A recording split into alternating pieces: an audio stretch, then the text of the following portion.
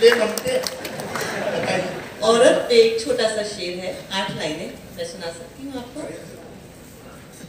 अखबारों में क्यों छपे हर दिन तेरी वीरानी?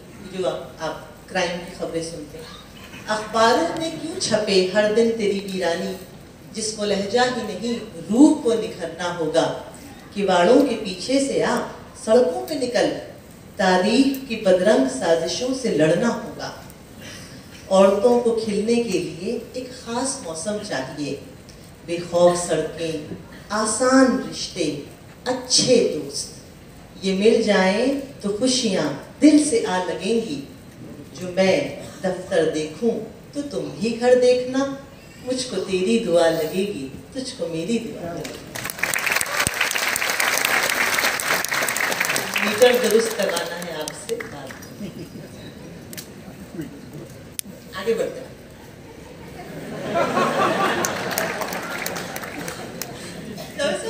इंसान की ज़िंदगी में हर 10-15 साल पे कुछ ऐसे चेंजेस आते हैं जिनको वो खुद भी नहीं पहचान पाता।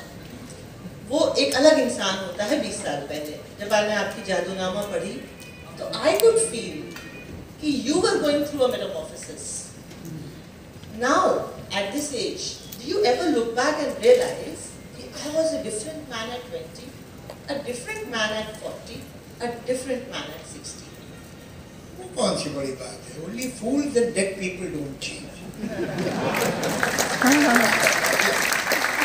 उसके साथ तो सभी बदलते हैं बदलना चाहिए जरा थोड़ा सा इंट्रोस्पेक्शन ज़रूरी है भले आप दूसरों को बताएँ ना बताएँ लेकिन दूसरों से आप झूठ बोलिए झूठ तो नहीं बोलना चाहिए लेकिन अगर बोलना है तो दूसरों से अपने से आप किसी को मत बताइए आपने क्या गलती की थी? इसलिए कि ये भी अक्सर बड़े शरीफ लोग कम मिलते हैं जो आप उनके सामने कन्फेशन करें कि मैंने गलती की थी और फिर उस पर आपको डिमोरलाइज ना करें आइंदा उस दिन तुमने बताया था ना कि तुमने वो गलती की थी तो वो ऐसा कर देते तो आप न कहिए आपका ना दिल चाहे तो इतना भरोसा न हो किसी पे। लेकिन अपने आप से तो कहिए, अपने आप से कहिए कि मैंने गलत किया था। और मैंने अनफेयर बात की थी।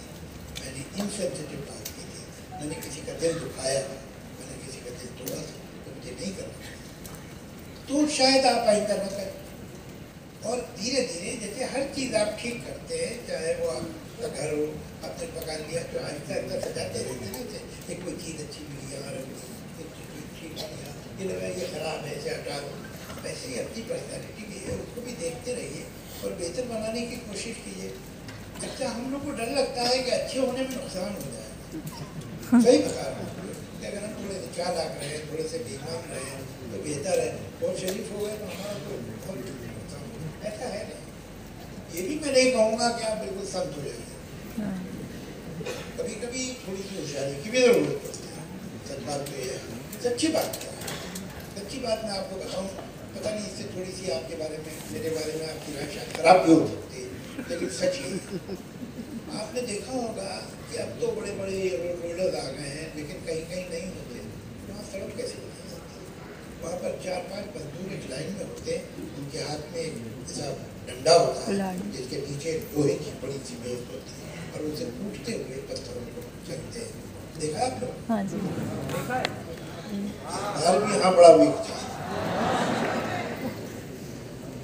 अच्छा एक कॉम्प्रोमाइज कर लेते हैं। आप हाँ शायद कहा कीजिए। चलिए इतना तो हो सकता है, ना ना शायद तो मगर जब बनाते बनाते बनाते बीच में एक बड़ी सी रॉक आ जाए अब उसी चीज़ से अगर आप उस रॉक को टूटने की कोशिश करें तो ज़िंदगी भर टूटते ही रह जाएँगे।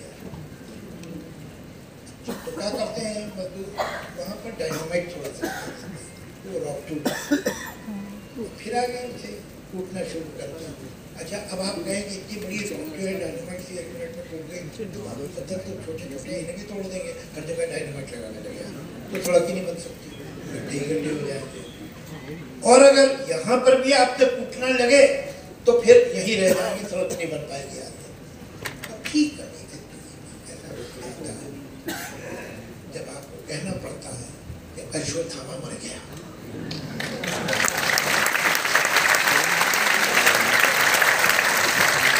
कभी कभी कहना लेकिन आपकी लड़ाई सच्चाई के लिए होनी चाहिए। उसमें कभी ये भी आ जाएगा मौका, आपका पर्पज अच्छा होगा कि कभी ऐसा नहीं करो उसके बिना ज़िंदगी नहीं चलती। जेवर भी सोना जो है, में मिलावट थोड़ी होती है, तब जेवर बन पाता है। प्योर सोना जेवर नहीं बनता।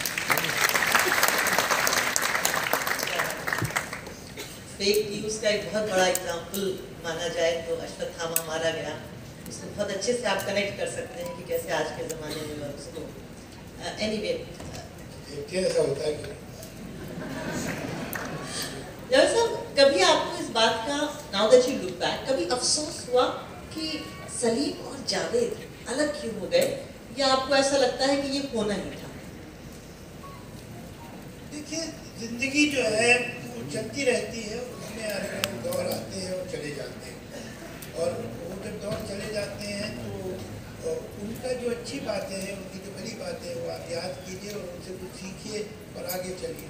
अब हम तो स्कूल में भी थे तो स्कूल भी तो अच्छा था। उसके बाद कॉलेज में थे, वो भी बड़ा खूबसूरत ज़िंदगी थी।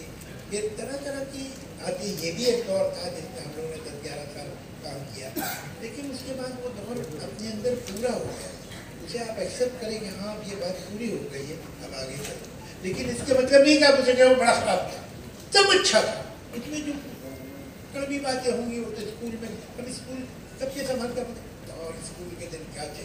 अरे को खास नहीं भैया, सुबह सवेरे उठना पड़ता था यूनिफॉर्म पहनो सर्दी में चले जा रहे हैं आप स्कूल, वहाँ पर ये कि आपको डर है कि यार वो मैथमेटिक्स का तो होमवर्क ही नहीं किया है टीचर से क्या बोलेंगे? ये सारे टेंशन आपके चलते रहते थे। ऐसा थोड़ी कि सुखी सुख था। लेकिन ये कि, फिर वो बातें तो आप भूल गए। कि आपको कितनी बार बेच मारे गए थे आपके हाथ पे? वो आपको अच्छी अच्छी बातें याद रहती हैं। ऐसे ही अच्छी बात, जो भी रिलेशनशिप है, वो अगर पूरी हो गई, जब हो गई, लेकिन उसकी जो अच्छी बात है, वो याद रखो उससे सीखो उससे ज़िंदगी को सजाओ और आगे चलो।